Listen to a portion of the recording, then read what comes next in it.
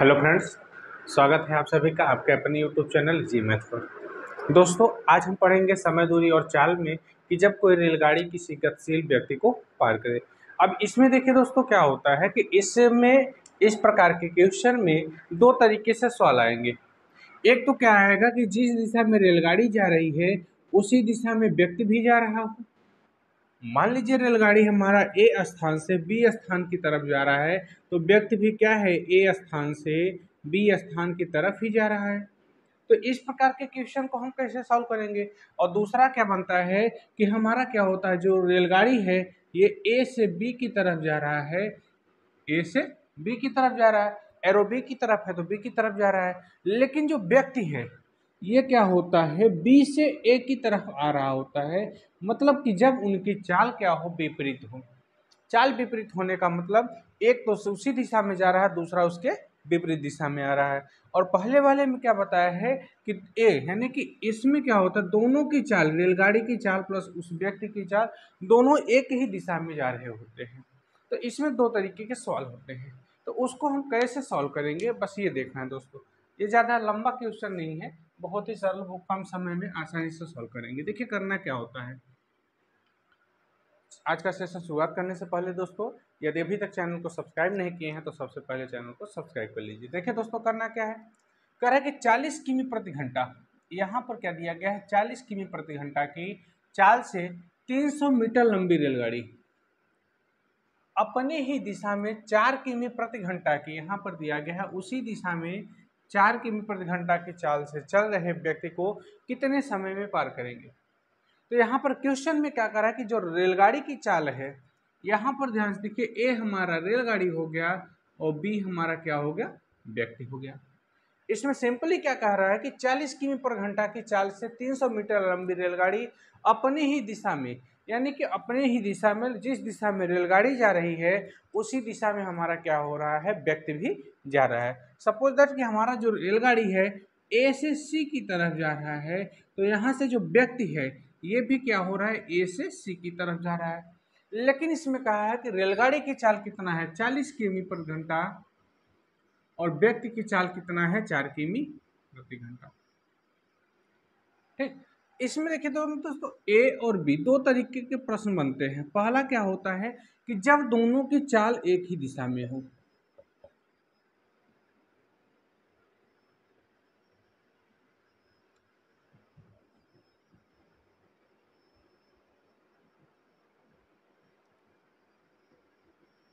कह रहा कि जब दोनों की चाल एक ही दिशा में हो, जब दोनों की चाल एक ही दिशा में होगी तो चाल में क्या होती है? कमी होती है। क्या होती है दोस्तों? कमी होती है। और जब दोनों की दिशा एक ही चाल, एक दोनों की जो चाल है, वह एक ही दिशा में हो जाएगी तो चाल में क्या होता है? कमी होता है। तो व्यक्ति के सापेक्ष, यानी कि जो हमारा क्या है, करा कि कितने समय से जा रहे तो व्यक्ति के सापेक्ष जो रेलगाड़ी की चाल हो जाती है, क्योंकि व्यक्ति भी उसी दिशा में जा रहा है, रेलगाड़ी भी उसी में जा रहा है तो व्यक्ति के सापेक्ष तो व्यक्ति के सापेक्ष रेलगाड़ी की चाल कितनी हो जाती है कि जो रेलगाड़ी का चाल दिया गया है, उसमें से व्यक्ति के चाल को हम क्या कर देते हैं? माइनस कर देते हैं। यानी कि रेलगाड़ी की चाल माइनस व्यक्ति की चाल। अब यहाँ पर हम देख रहे हैं, रेलगाड़ी की चाल कितना दिया गया है? चालीस दिया गया है, माइनस चार। यानी कि यहाँ पर क्या है? रेलगाड़ी की चाल चालीस है और व्यक्ति की चाल चार है। क्या करेंगे? ये कब लगेगा? जब हमारा क्या होगा? दोनों चाल एक ही दिशा में, एक ही डायरेक्शन में रहेगा तो हम क्या करेंगे? रेलगाड़ी के चाल में से व्यक्ति के चाल को माइनस करेंगे। और जब माइनस कर देंगे, चालीस में से चार घटेगा, छत्तीस किमी प्रति घंटा। ये आ जाएगा। ठीक? अर्थात यहाँ से हमारा ये फार्मूला क्या बन जाएगा कि रेलगाड़ी की चाल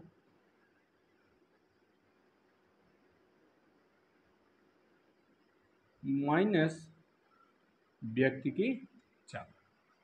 ये क्या होगा? जब दोनों की चाल एक ही दिशा में होगी तो दोनों की चाल आपस में क्या होगी? सापेक्ष चाल निकालने के लिए दोनों का चाल आपस में क्या हो जाएगा? माइनस हो जाएगा। लेकिन जब चाल विपरीत हो,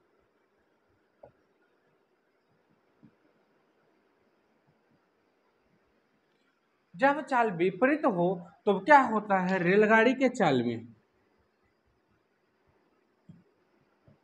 व्यक्ति का चाल क्या होता है दोस्तों? ऐड हो जाता है। क्या हो जाएगा? ऐड हो जाएगा। कब? जब दोनों की चाल क्या हो? विपरीत दिशा में हो। तो व्यक्ति के सापेक्ष जो रेलगाड़ी की चाल होती है, ये रेलगाड़ी की चाल में व्यक्ति की चाल दोनों का क्या हो जाता है? ऐड हो जाता है। तो ये हमारा क्या आ जाएगा? सापेक्ष चाल आ जाएगा। किसका? अब इसी तरीके से ये सवाल को भी निकालना है। ये तो हमारा क्या हमारा? यानी कि ये दोनों नियम है। इस प्रकार के क्वेश्चन में ये दो तरीके के प्रश्न आते हैं। अब चलिए क्या करेंगे? इसमें दिया है जो हमारा क्वेश्चन दिया गया है, अब हम क्वेश्चन को देखेंगे। बहुत ही नॉर्मली क्वेश्चन है दोस्तों। दिया क्या है? करा कि रेलगाड़ी की चाल 40 किमी प्रति घंटा है। यहाँ पर हम देखेंगे सापेक्ष चाल निकालेंगे। क्या निकालेंगे? सापेक्ष चाल। किसका? रेलगाड़ी, यानी कि व्यक्ति के सापेक्ष रेलगाड़ी की चाल निकालेंगे। अब ये क्या है? दोनों की चाल हम देखेंगे एक ही दिशा में। कह रहा है कि रेलगाड़ी अपने ही दिशा में चार किमी यानी कि जब दोनों का दिशा सेम है तो हम क्या करेंगे? चालीस माइनस चार केमी प्रति आवर हम माइनस करेंगे तो 40 में से चार घटेगा, कितना आएगा? 36 किलोमीटर प्रति घंटा। यानी ये कितना आ जाएगा? 36 किलोमीटर प्रति आवर ठीक? लेकिन एक चीज़ यहाँ पर दिक्कत दिक्कत हो रहा है, प्रॉब्लम हो रहा है कि यहाँ पर ये यह हमारा मीटर में दिया है और यहाँ पर जो हमारा स्पीड है ये किलोमीटर पर हावर में दिया गया है। अब किलोमीटर पर हावर को चेंज करने के लिए हम क्या करते हैं, मीटर पर सेकंड में, क्योंकि ये हमारा किलोमीटर में है तो यहाँ मीटर दिया है, इसको भी हमें मीटर पर सेकंड में चेंज करना होगा। तो मीटर पर सेकंड में चेंज करने के लिए हम पाँच के बटे अट्ठारह से क्या करते हैं मल्टीप्लाई करते हैं तो ये हमारा चेंज हो जाएगा मीटर पर सेकेंड एट्टीन टू जा थर्टी सिक्स टू फाइव जा टेन कितना आ गया टेन मीटर पर सेकेंड ठीक? अब देखिए ये कैसे चेंज हुआ? पाँच बटे अठारह आया कहाँ से? अब यहाँ पर क्या है? थर्टी सिक्स आने के लिए दोस्तों इसमें कोई अलग नहीं आएगा। जो हमारा होता है, किलोमीटर को मीटर में अगर कन्वर्ट करेंगे तो एक किलोमीटर बराबर कितना होता है? एक हज़ार मीटर। अब ये मीटर हो गया तो हावर भी हमारा किसमें है? सेकंड में है। तो एक हावर बराबर कितना सेकंड होता है? थर्टी सिक्स हंड्रेड दो ज़ीरो से दो ज़ीरो कट गया, दो पंचे दस, दो अठारह छत्तीस। तो कितना आ गया? पाँच के बटे अठारह आ गया नहीं? तो यही चीज़ यहाँ पर लिखा गया है पाँच के बटे अठारह। कितना आ गया? दस मीटर पर सेकंड आ गया। लेकिन हमें निकालना क्या है? कितने समय में पार कर लेगी? हमें यहाँ से निकालना है समय। समय बराबर क्या होता है? दूरी के बटे चाल डिस्टेंस अपॉन स्पीड।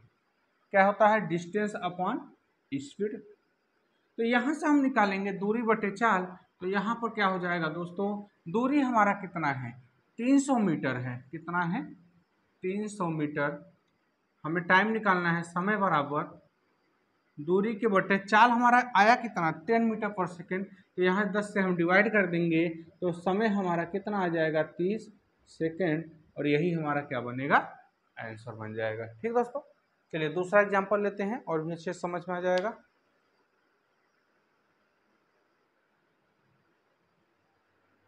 चलिए दोस्तों, दूसरा एग्ज़ाम्पल देखते हैं। दिया गया है कि एक रेलगाड़ी 150 मीटर लंबी है।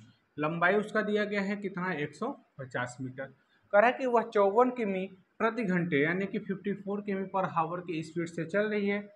लेकिन अपने विपरीत दिशा में 6 किमी प्रति घंटा की चाल से चल रहे व्यक्ति को वह कितने समय में पार कर लेगी? वहाँ पर चाल, यानी कि वहाँ पर जो चाल की दिशा थी दोनों का, व्यक्ति के और गाड़ी के, दोनों का सेम डायरेक्शन था। लेकिन यहाँ पर क्या कह रहे हैं कि दोनों का क्या है, जो डायरेक्शन है, ये क्या है? विपरीत है अपोजिट है। तो करना क्या है, मान लीजिए रेलगाड़ी एक इसकी तरफ़ जा रहा है, यानी ए से बी की तरफ़ जा रहा है तो व्यक्ति भी क्या कर रहा है बी से ए की तरफ़ आ रहा है।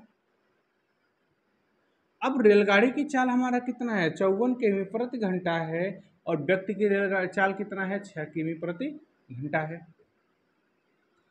अभी हमने आपको पीछे बताया कि यदि दोनों का जो हमारा स्पीड है, ये क्या होगा? यदि डायरेक्शन हमारा क्या हो, अपोजिट हो तो दोनों की स्पीड क्या हो जाएगी? ऐड हो जाएगी।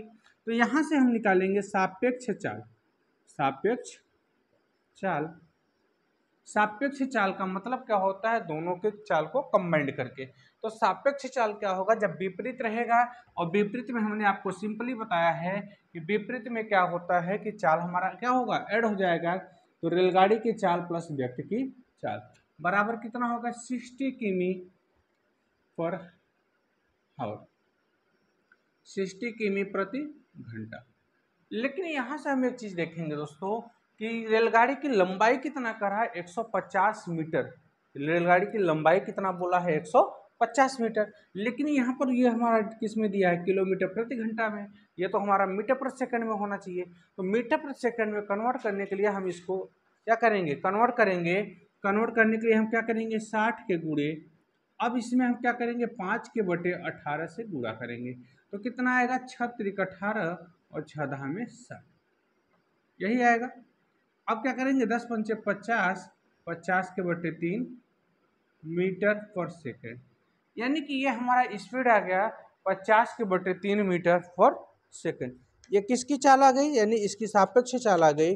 अब यहाँ से हम क्या करेंगे दोस्तों कि हमें निकालना है क्या? समय निकालना है। क्या निकालना है? समय निकालना है। कहाँ दिया गया? कर कितने समय में पार कर लीजिए समय निकालना है। तो हम जानते हैं समय बराबर फार्मूला क्या होता है? Distance upon speed. Distance upon speed. दूरी बटे चार।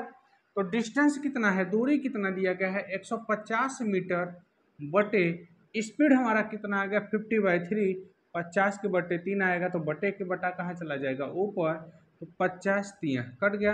कितना आ जाएगा? तीन तरीका नौ सेकेंड। हाँ यहाँ पर हमारा जो स्पीड है, या हमारा जो यह टाइम है, टाइम कितना आ गया? नौ सेकंड। ठीक है करना क्या है दोस्तों? बस हमें यही देखना है कि जो प्रश्न में उसका जो डायरेक्शन दिया गया है, वो क्या है? विपरीत है कि उसी दिशा में है। अगर उसी दिशा में रहेगा तो दोनों का चाल हम माइनस कर लेंगे।